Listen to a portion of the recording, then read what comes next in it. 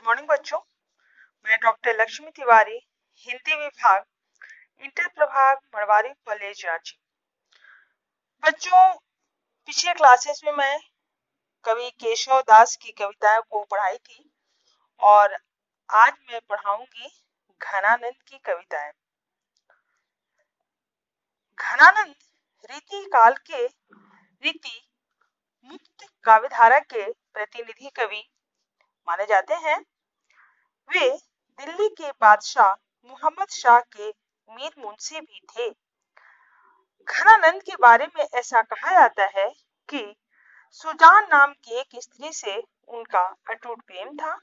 उसी के प्रेम के कारण घनानंद बादशाह के दरबार में बेअदबी कर बैठे, जिससे नाराज़ होकर बादशाह ने उन्हें दरबार से निकाल दिया था। उसके साथ ही साथ घनानंद को सुजान की व्यवसायी ने भी निराश और दुखी किया।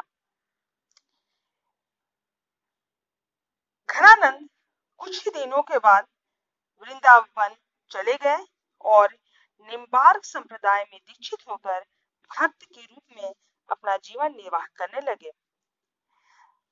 वे भक्त के रूप में अपना जीवन निर्वाह करने तो लगे, लेकिन अपनी प्रेमिका सुजान को भूल नहीं पाए। और अपनी रचनाओं में सुजान के नाम का प्रतीकात्मक प्रयोग करते हुए काव्य का रचना करते रहे। घनानंद को मूल रूप से प्रेम की पीड़ा के कवि कहा जाता है। वियोग वर्णन में उनका मन अधिक रमा उनकी रचनाओं में प्रेम का अत्यंत गंभीर, निर्मल, आवेगमय और व्याकुल कर देने वाला उदात रूप व्यक्त हुआ है। इसीलिए घनानंद को साक्षात रसमूर्ति भी कहा गया है। घनानंद के काव्य में भाव की जैसी गहराई है, वैसी ही कला की बारीकी भी है। कहने का तात्पर्य यह है कि घनानंद के काव्य में जैसा भाव उभरा है, उसी भाव को उन्होंने अपना कलात्मक रूप दिया है। उनकी कविता में लाक्षणिकता, वक्रोक्ति इत्यादि अन्य अलंकारों का भी प्रयोग किया गया है। उनकी काव्य कला में सहजता के साथ साथ वचन वक्रता का अद्भुत मेल है। घनानंद की काव्य की भाषा साहित्यिक ब्रज भाषा है और उसमें कोमलता और मधुरता का चरम विकास दिखाई देता है। भाषा की व्यंजकता बढ़ाने में वे अत्यंत कुशल थे। वस्तुतः वे व्रज भाषा प्रवीण ही नहीं, सृजनात्मक काव्य भाषा के प्रणेता भी थे। अर्थात घनानंद को ब्रज भाषा का प्रणेता भी कहा जाता है। घनानंद की रचनाओं में मूल रूप से है सुजान सागर विरह लीला कृपाकंड, निबंध, रसकेली वली आदि प्रमुख हैं।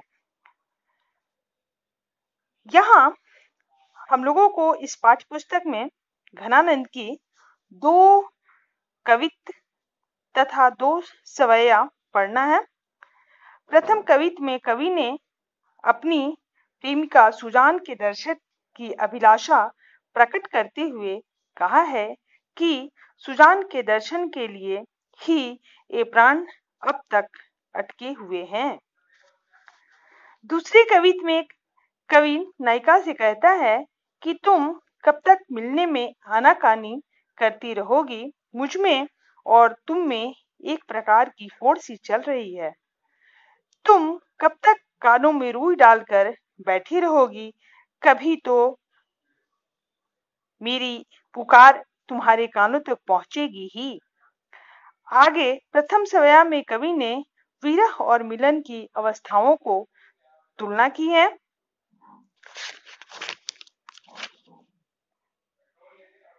अंतिम सोया में कवि कहता है कि मेरे प्रेम पत्र को प्रियतमा ने पढ़ा भी नहीं और फाड़ कर टुकड़े टुकड़े कर दिया। तो बच्चों, अब हम कवित का पहला पंक्ति देखते हैं। यह कवित दो भाग में है तो अभी हम पहला भाग पर चर्चा करते हैं। पंक्तियाँ हैं बहुत दिनान को अवधि आस पास परे खरे अरब रनी भरे हैं उठी जानी को। कही कही आमन छबीले मन भामन को। गही गही राखती ही दे दे सन्मान को। झूठी बतियानी पतियानी में उदास है के। अब ता घिरत धन आनंद निदान को। अधर लगे हैं आनी करे कै पयान प्राण। चाहत चलन संदेशो ले सुजान को दिनान, यानी बहुत दिनों तक, अवधि, समय। यहाँ कवि घनानंद कहते हैं कि बहुत दिन बहुत दिन बीत गया है, अर्थात बहुत समय बीत गया है, अब तो जान पर बन आई है, यानी अब जान पर आफत आ गई है।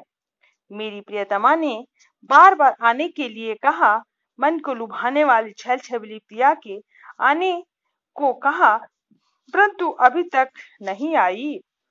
मुझे उसके दर्शन नहीं हुए।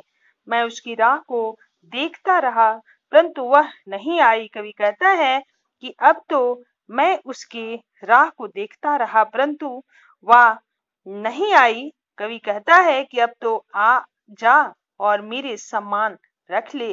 मेरी संसार में बदनामी न हो, अतः आकर दर्शन दे जाओ। मेरी झूठी बातों पर विश्वास करके मैं उदास हो गया हूँ। अब तो उदासी इतनी बढ़ गई है कि अब मेरे मन को आनंद नहीं मिलता। अब तो मन को तसल्ली देने वाला बादल भी नहीं आते और मेरे मन को चैन प्राप्त नहीं होता। पहले तो मैं तुम्हारी बातों पर विश्वास कर लेता था, परंतु अब मुझे तुम्हारी बातें झूठी लगती है और मुझे तुम पर विश्वास नहीं होता। यदि तुम आ जाओगी तो तुम्हें यह संदेशा सुना देंगे। इसी आशा में मेरे प्राण अटका हुआ है, वरना अब तक ये प्राण निकल गए होते। तुम्हारे ही इंतज़ार में ये अब तक रुके हुए हैं। कवि के हृदय की व्याकुलता अर्थात प्रेम की योग का सजीव चित्रण इन पंक्तियों में प्रस्तुत किया गया है। दूसरी पंक्तियाँ हैं। आना, कानी आर सी बच्चे अपनी पुस्तक को खोल करके इस पंक्तियाँ को देखें और उसकी भावार्थ को सुने।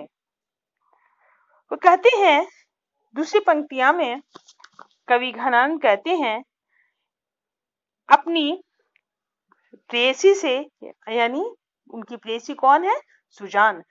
तो सुजान को लक्ष्य करके, जैसा कि हम पहले बताए कि घनानंद अपनी काव्य का रचना जो है, सुजान को प्रतीकात्मक रूप देकर किया है, यानी सुजान को प्रतीक मानकर किया है। तो इन पंक्तियों में सुजान के लक्ष्य करके कह रहा है कि तुम कब तक हाथ के अंगूठे में पहनने वाली शीशे के आभूषण को देखती रहोगी और मेरी बात को आनाकानी करती रहोगी, अर्थात टालती रहोगी।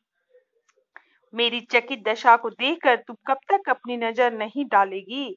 तुम कब तक मेरी ओर नहीं देखोगी? कभी तो तुम्हारी दृष्टि पड़ेगी ही। ऐसा प्रश्नात्मक रूप से लक्ष्य करके सुजान को कवि ने सुना रहा है। उन्होंने कह रहा है कि अपनी प्रण का कब तक पालन करोगी? मेरी कूक भरी मौन वृत्ति पर तुम खुद ब खुद बोलने लगोगी। कवि को ऐसा मन में आशा है। उन्होंने कहा है कि मेरी मौन पुकार पर तुम्हें बोलना ही पड़ेगा। कवि को ऐसा आशा है कि मेरी इस मौन पुकार पर कभी तो सुजान का शब्द फूटेगा ही मुँह से। तुम जिद्दी हो तो मैं भी कम नहीं। मुझे घनानंद जानकर तुम्हें मुझसे बहस करनी ही होगी। तुम्हें अपनी जिद छोड़नी ही पड़ेगी। कब तक तुम बहरेपन का नाटक करके अपने कानों में रूई डालकर बैठी रहोगी? कभी तो मेरी पुकार तुम्हारे कान तक जाएगी ही, अर्थात पहुंचेगी ही। मेरी पुकार तुम्हारे कानों तक पहुंचेगी और तुम्हारे कान खुलेंगे और तुम बोलने पर मजबूर हो जाएगी। मेरी पुकार में शक्ति है तो तुम्हें बोलना ही होगा। इसमें कोई संदेश की गुंजाइश नहीं है। कवि को ऐसा आशा है कि मेरी ये मौन पुकार जो है सुजान तक पहुंचेगी और कभी न कभी सुजान मुँह खोलेगी ही।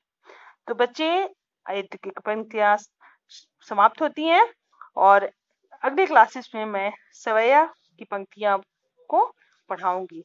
धन्यवाद।